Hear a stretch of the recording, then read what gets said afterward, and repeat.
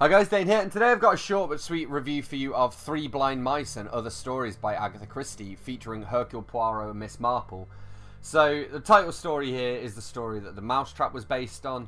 Uh, basically, as I started reading this, I realised that I've already read all of the stories. Uh, I've added every Agatha Christie publication to my overall wish list, and there's some overlap between British and American versions. So, um, yeah, I, it turned out I'd read all of the short stories in this before.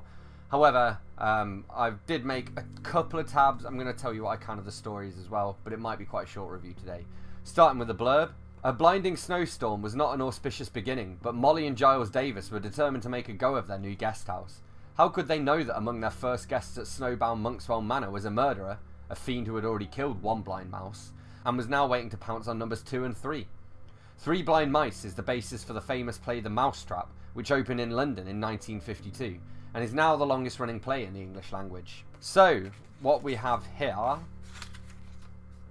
Obviously, we have Three Blind Mice, which is the story the Mousetrap was based on.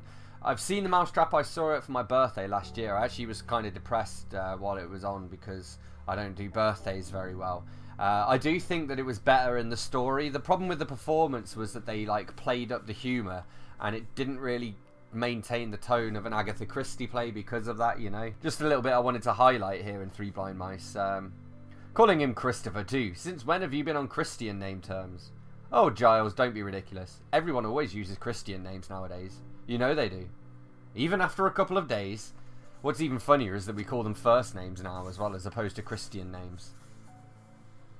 Alright, then we have Strange Jest, which is about uh, a man dies and um, the the family think he's left a fortune, but they can't figure out where it is.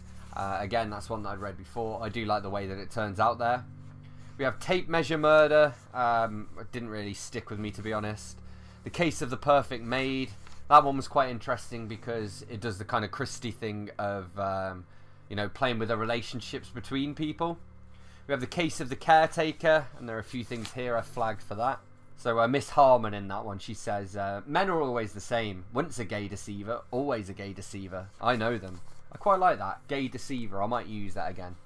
And then uh, Harry says, um, "All these old pussies knew me when I lived here as a boy." It always makes me laugh when they call them old pussies.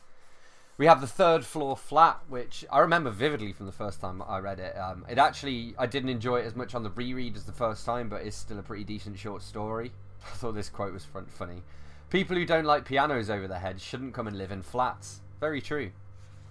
Then we have The Adventure of Johnnie Waverly, 4 and 20 Blackbirds, that one in particular. Again, um, I didn't even bother to reread that one this time because I remember it so vividly, so it must have been quite recent that I picked that one up.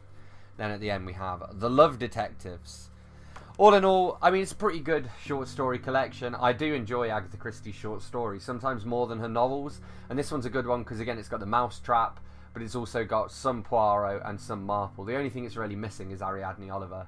Um, but I can't rate it too high because, again, it felt like a reread, even though it was the first time I read it.